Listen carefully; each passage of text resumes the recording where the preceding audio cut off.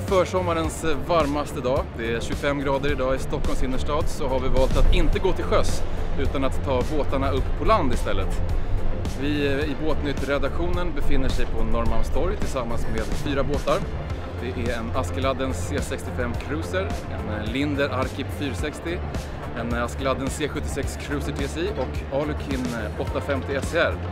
Lite blandat, plast och aluminium, blandade storlekar, men eh, det är mycket båtar, mycket folk och nu tar vi och tar en titt inuti båtarna.